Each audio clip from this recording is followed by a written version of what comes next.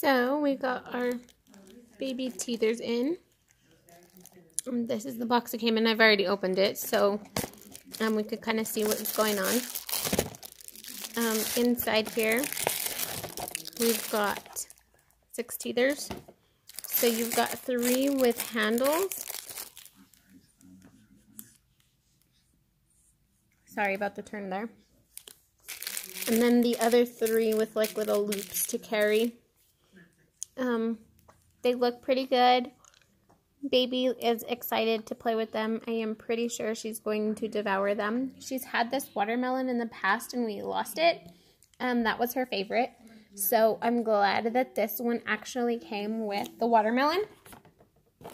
Um, it says here all the fun stuff, you know, that it can be boiled to dis be uh, disinfected and all the fun stuff. Um, so yeah, it seems to be decent quality, fun colors, um, easy handles, lots of little parts to chew on.